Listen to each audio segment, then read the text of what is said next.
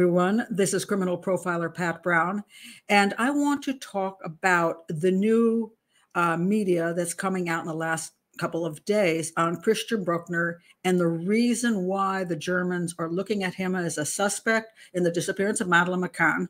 Remember, they were just in, in uh, Portugal. They spent 72 hours digging around, uh, trying to, and, and, in the water here, trying to find evidence. Uh, 72 hours later, they stopped.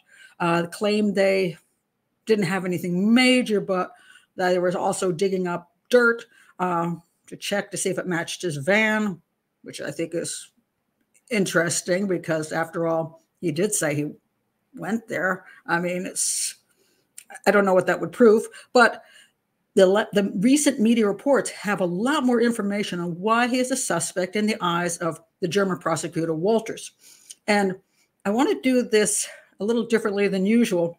Um, as you know, uh, well, maybe you don't know, I'm a pretty outspoken person on this case. Um, uh, along with uh, Gonzalo Amaral, who wrote uh, The Truth of the Lie. He was a, the detective on the case. Uh, he wrote the book because he believed that there was no abduction, that the, that the McCanns were involved in what happened to their daughter. And uh, the McCanns, um, uh, very litigious that they are, uh, got his book pulled off the market and fought for many, many years uh, to keep that book off the market. And they finally lost in and his book is back on the market. Uh, my book is on the right, Profile the Disappearance of Madeleine McCann uh, was also pulled off the market. Uh, the the uh, McCann's um, threatened Amazon with a major libel lawsuit, and so Amazon pulled it. However, it is on the market at Barnes and Noble and Smashwords and Kobo and Apple. So I also found through my analysis that there did not seem to be evidence of an abduction. Okay, now I'm going to put all that aside because I want to look at this from the perspective of a detective on a case. Should the Portuguese detectives, should the British detectives, should the German detectives look at a possible abduction of Madeleine by someone like Christian Bruckner?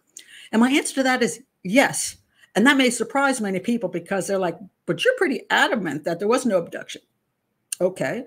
But understand that when you're running an investigation, you may have looked at all the evidence and say it looks it focuses on this direction but there are possibilities always a possibility that some evidence is missing that would propel you over here it's also possible that you're just wrong people can be wrong detectives can be wrong profilers can be wrong because when you're working on a case nothing is absolute until you have the evidence to take the person to court and prosecute them and find them guilty.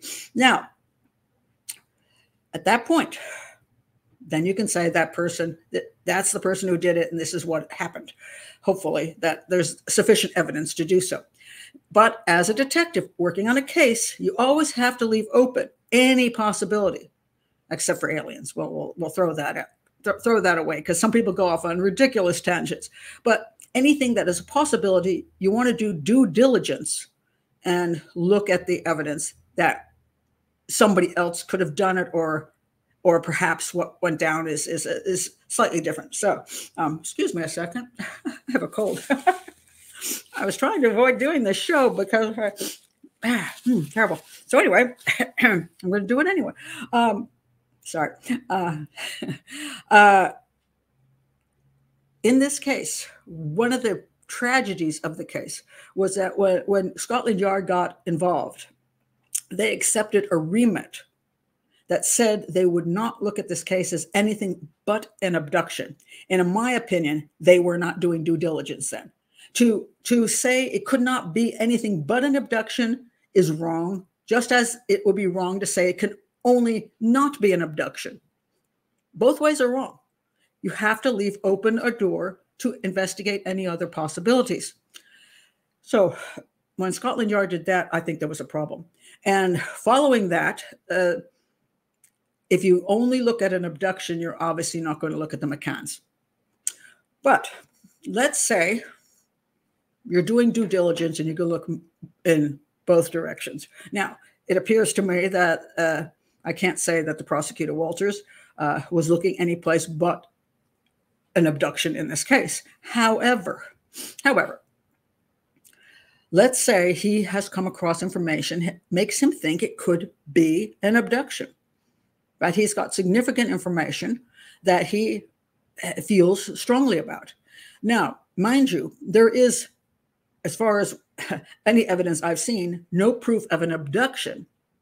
But sometimes having no proof of an abduction doesn't mean an abduction didn't happen.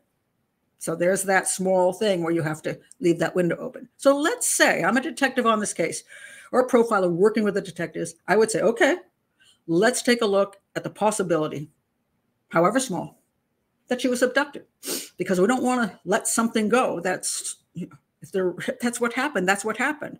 Okay so let's look at christian bruckner. From the eyes of someone who's looking at this as an abduction or a possible abduction and saying is he a good suspect? I'll say it right up front he's an excellent suspect. The guy's a, is i mean he is what he is. He's a he's a predator. He's a psychopath. He lived in the area. He's a creepy dude. Would he be on the top of my list for suspects if Madeleine McCann was abducted? Absolutely. Absolutely. Now, I want to read from two articles uh, so that you can understand where I'm. I'm going to take each article, I'm going to go through it, and I'm going to say what I what makes sense and what doesn't make sense. Now, mind you, these are coming from two disreputable sources. I, don't think much of either one of them. First one is from the Independent. All right.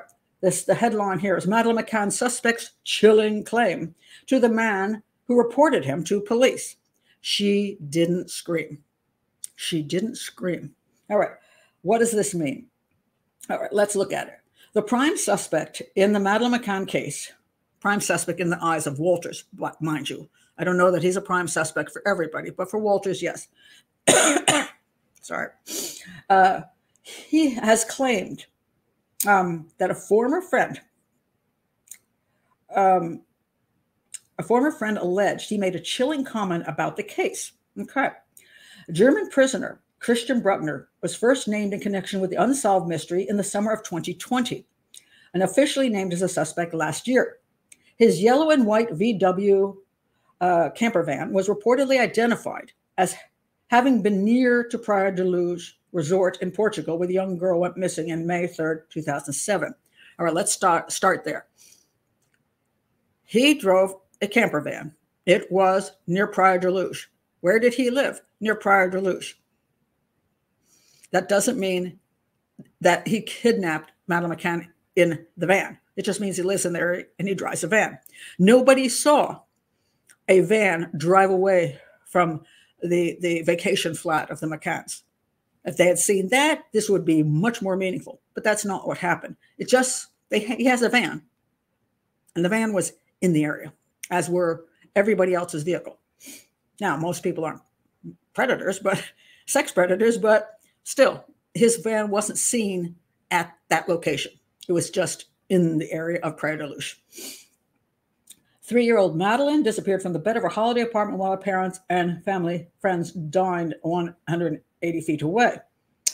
Metropolitan Police took over the investigation, Operation Grange, in 2011, but they hit dead ends. There was not another significant suspect in the case since 2007 until Bruckner. All right.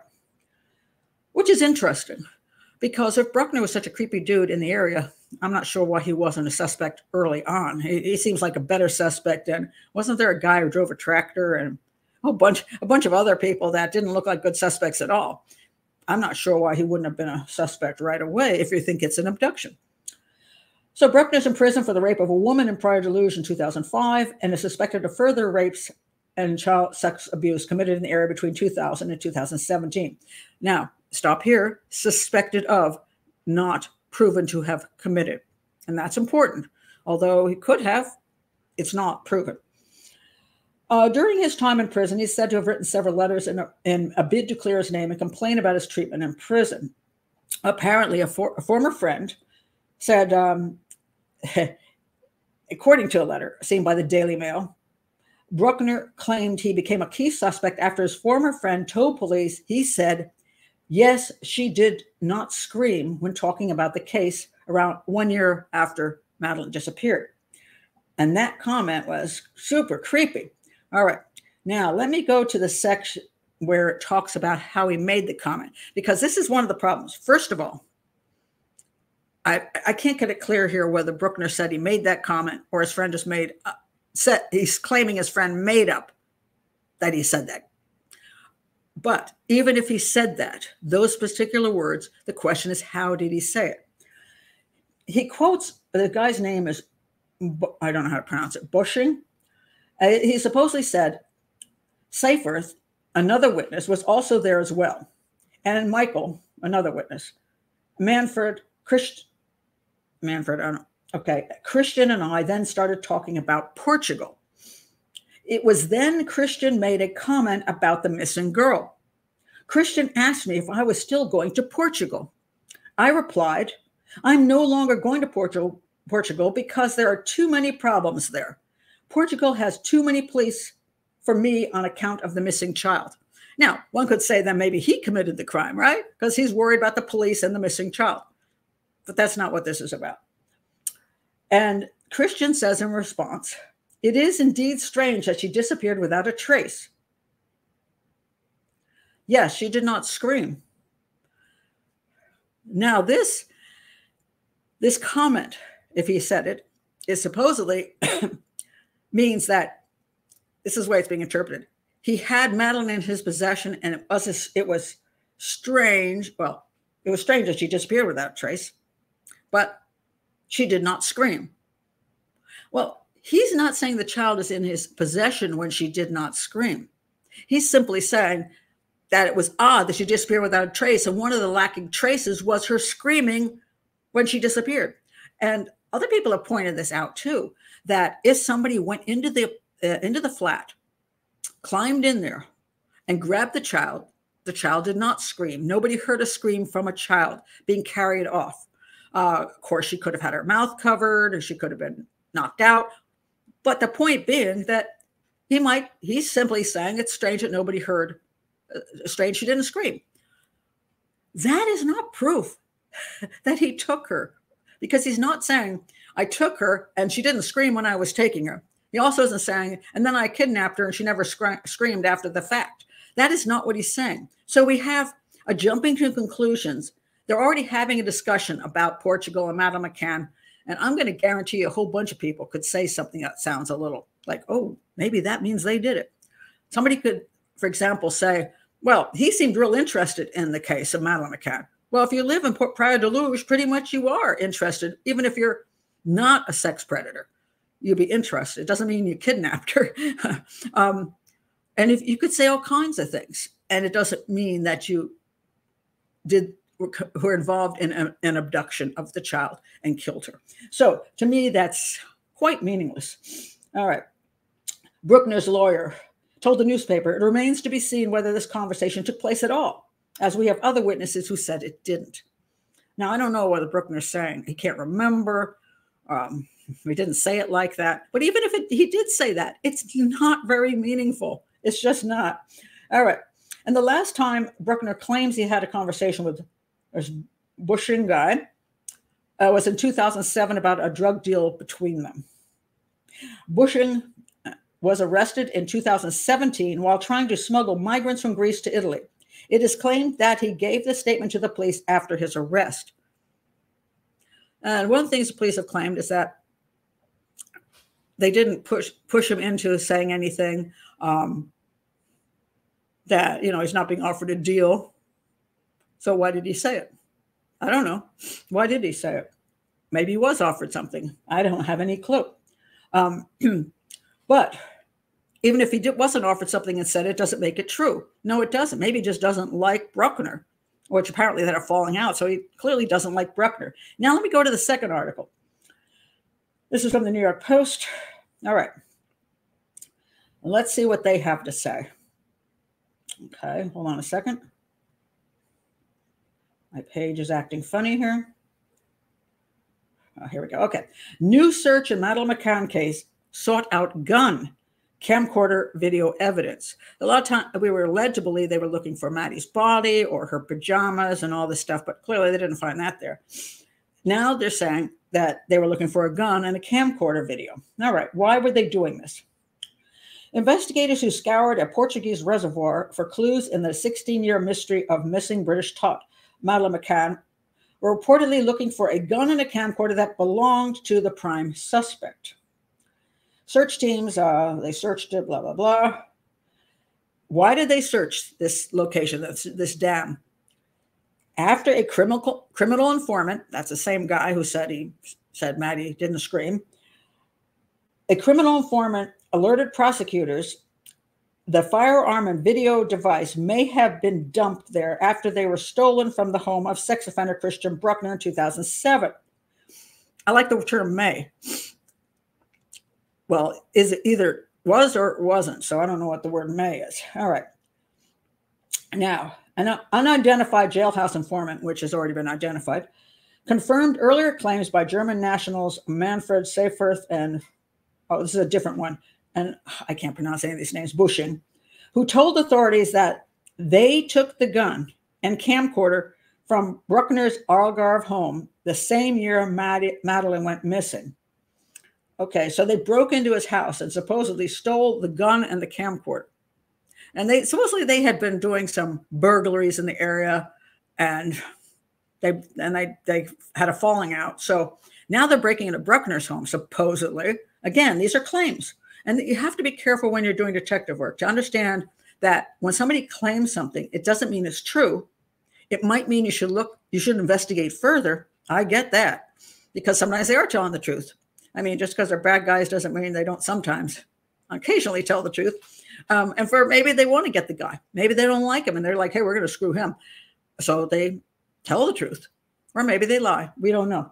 So, anyway, the pair alleged the camcorder had footage of Bruckner torturing and raping an American woman and a 15 year old girl. Alleged, another claim. Investigators want to know if the device also had video evidence of Madeleine. Okay, uh, why don't these guys say if it had video evidence of Madeleine? Is it because they only watched a piece of it and then went, oh my God, that's horrifying? Wouldn't they be curious what's on the rest of it? I find that a little strange. Uh, when the video camera was played, okay, this is the source. Excuse me again. I'm fighting something here. Been sick for like three days. Um, uh, investigators want to know if the device, okay, uh, when the video camera was played, it showed a masked man carrying out a sex attack on a woman, and the voice they heard was Bruckner's. A source told the news outlet. Seyferth said a gun was also found, and that after finding the video camera, they panicked, drove off, and later threw both items in the lake. Okay, hold on a second.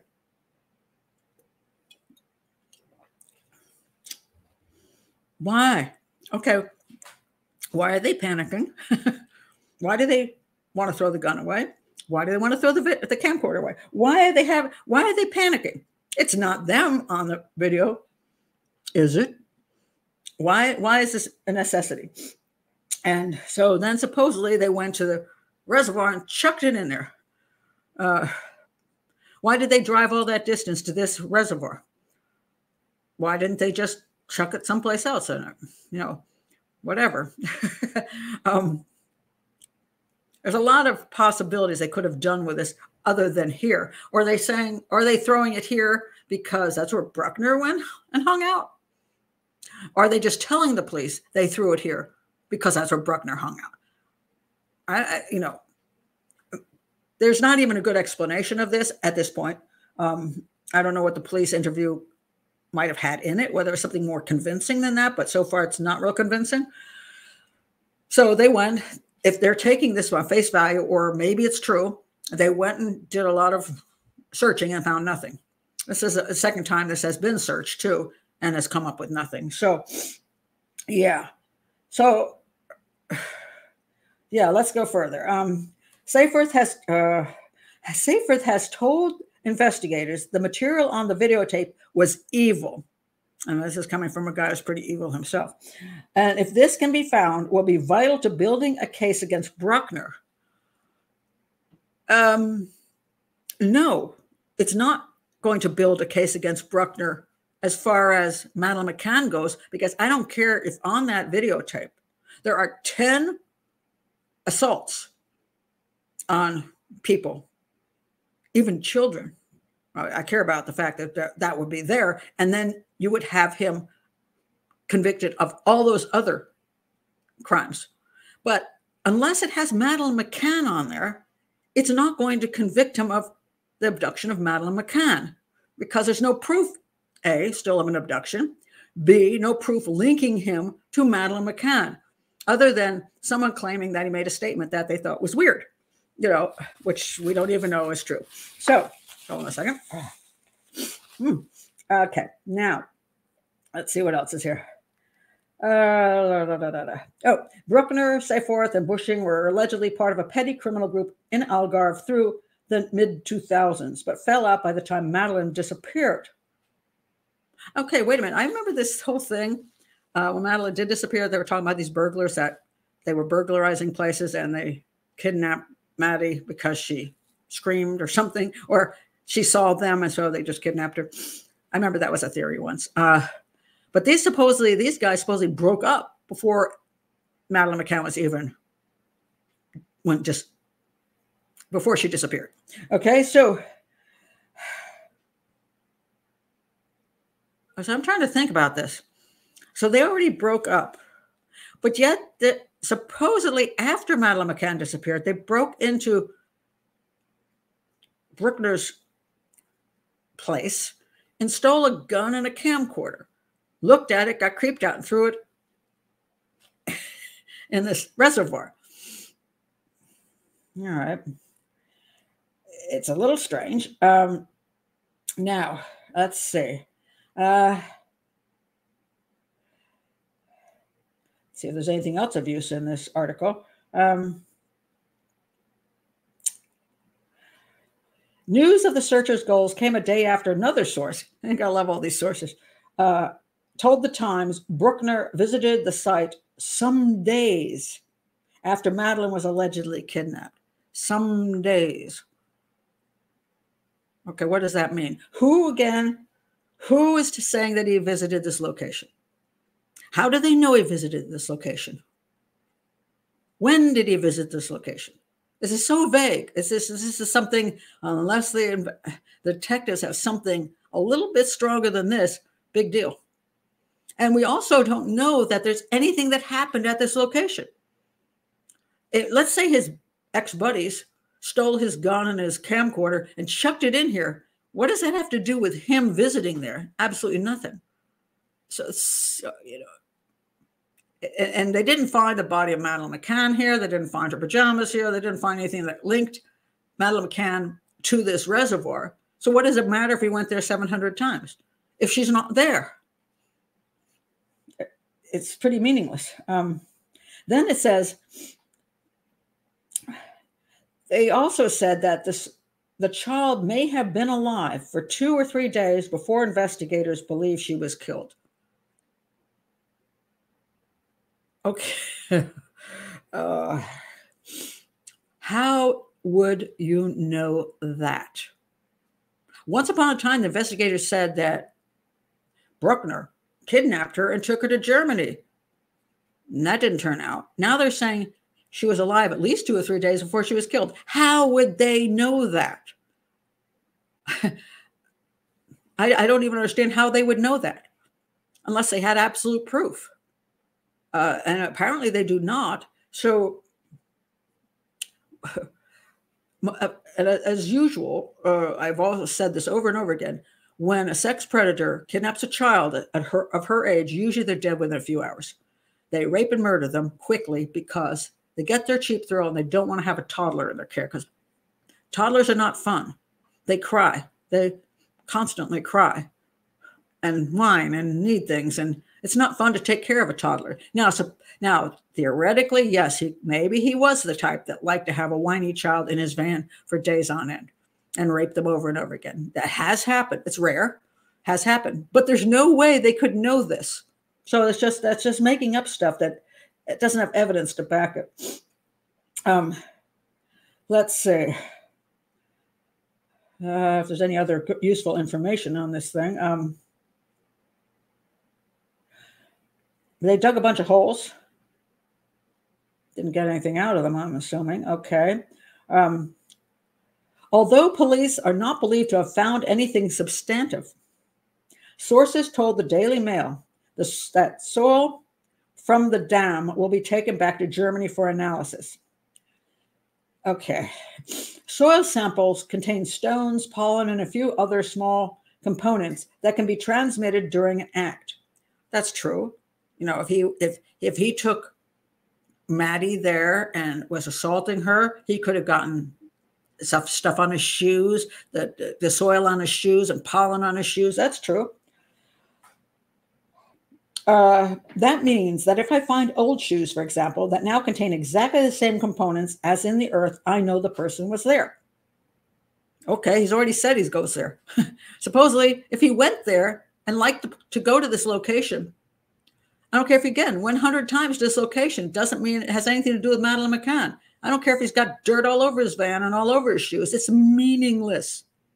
Now, where would it mean something? Let's say Hmm, let me come up with something that makes more sense. Uh, let's say, for example, uh, a person uh, kidnaps somebody and the fibers from their clothing are in their van.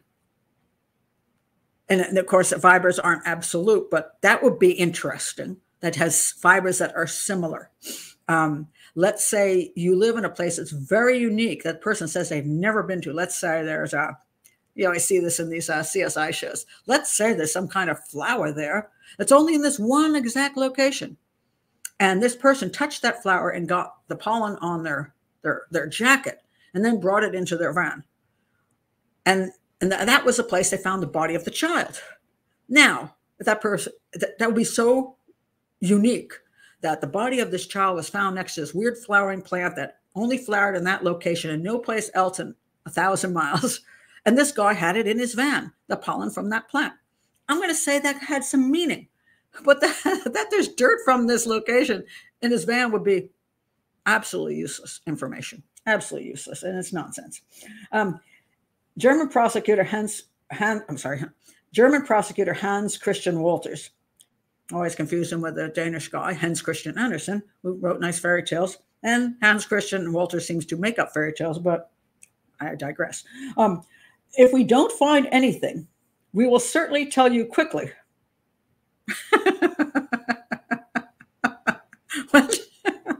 He's been not telling us quickly for the last three years. If there were any fines, that would probably not be possible. Okay, so here's what he's trying to say we would tell you if we didn't find anything, but we won't tell you if we do find something because we're saving that for prosecution. So when we don't hear anything, we have to assume that means they found something. wow, that's a, that's actually kind of clever way to put that. Okay. Uh, after the search concluded, the Portuguese judicial police also issued a statement confirming the collected material was in German hands and that safeguarding the interests of the investigation was a top priority, which is what you have to say. All right. Um, then it says down here, interesting.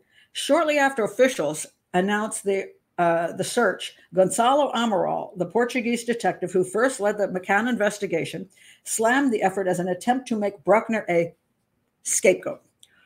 In simple analysis, I see there is no new investigation. What is happening is an act of building the profile of a scapegoat and a virtual blaming. The now retired Amaral told a locally weekly, the Daily Mail reported. Little by little, the Germans built up the suspect's profile as a rapist, pedophile, and a murderer, gathering similar Portuguese cases, accusing him of them. And this is correct. He hasn't been convicted of any other cases he's been convicted of a case, but not of all these other ones that he could have done.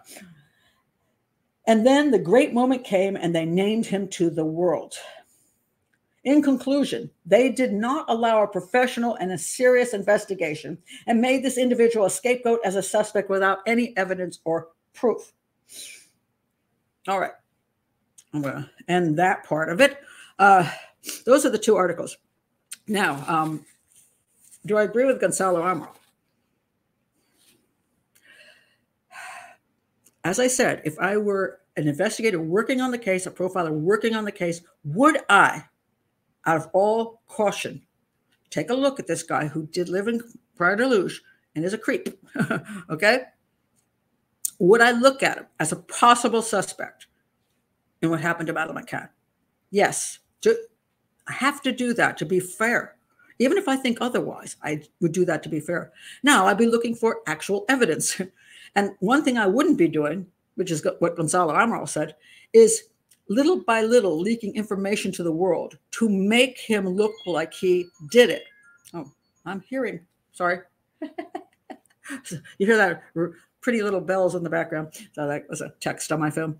Um, I would not be leaking little by little by little, which is what Amaral is saying is happening. Little by little, people are becoming more and more invested in him being the person who's done something to Madeleine McCann. And this recent piece of information that came out again does the same thing. This is stuff that should be part of the investigation, not part of the media report. So if Wolters is looking at this guy and he has the right to do this, maybe he truly believes Madeleine McCann was abducted and he doesn't want to look at the McCanns in any way, shape, or form any more than the British did with their um, Operation Grange. They just eliminated the McCanns immediately and refused to start at the beginning and, and, and, and review everything. So if, if, if that's where the German prosecutor's at, that he believes 100% she was abducted, then he's going to look for people in the area who could have abducted her. And they had to be there around that time and have some reasonable access to the flat. And uh, he's a good suspect. I won't deny that. But like Amaral says, as far as I know, excuse me again.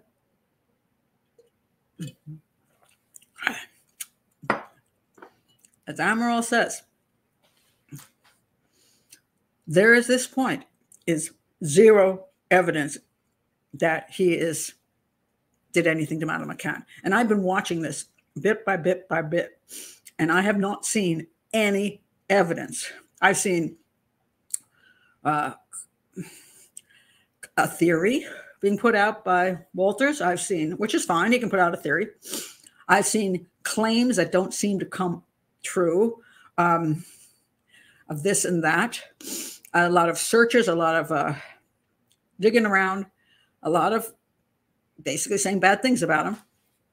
And now he's got these mm, these people who say he said this one thing about Madeleine McCann that she didn't scream and that they saw bad things on a camcorder.